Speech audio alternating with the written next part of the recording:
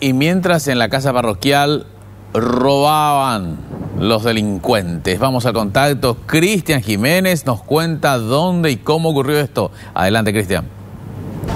Nuevamente, buen día compañeros y vamos a hablar sobre este hecho que ocurría el día de ayer domingo en horas de la mañana. Delincuentes aprovecharon mientras que el sacerdote se encontraba celebrando una misa e ingresaron a una casa parroquial para literalmente vaciar. Se llevaron dos computadoras, teléfonos celulares y dinero en efectivo. Según el reporte policial, violentaron una de las ventanas por donde ingresaron para alzarse con las pertenencias del cura párroco. Para ello ya estamos también con el suboficial Rolando Portillo de la, de la Dirección de Policías, que nos va a dar los detalles de este hecho. Buen día, gracias por su atención, por la gentileza. Bueno, lamentable, delincuentes ingresaron a una casa parroquial.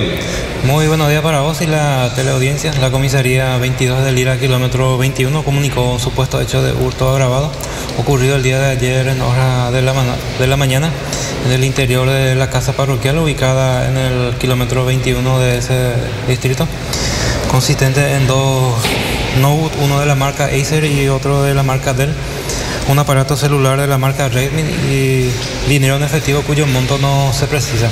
El denunciante es el cura párroco Antonio Javier Morel, paraguayo domiciliado en, en el lugar. Bueno, el que mencionó su oficial, aparentemente se encontraba celebrando la Santa Misa, cuando retorna a la casa justamente se encuentra con esta terrible sorpresa. Así mismo, según manifestaciones del mismo, en hora de la mañana se encontraba oficializando la misa. Posterior al término regresó a la casa parroquial y encontró que la ventana fue violentada. Al verificar el interior se percató el faltante de los objetos mencionados más arriba. Bueno, lamentable realmente porque no es la primera vez que ocurre aquí en nuestro departamento.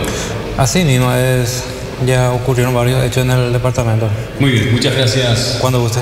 Bueno, lo importante de todo esto también, compañeros, es que los efectivos policiales de la comisaría 22 ya están tras las pistas de estos presuntos delincuentes, ya que luego de la denuncia también ellos realizaron un intenso rastrillaje por toda la zona, pero de acuerdo a lo que referían justamente los uniformados de esa zona, es que mediante circuitos cerrados adyacentes al lugar ya lograron más o menos tener pistas de estos malvivientes y seguro que en las próximas horas ya tendremos mayores novedades. Retornamos a ustedes, compañeros, hasta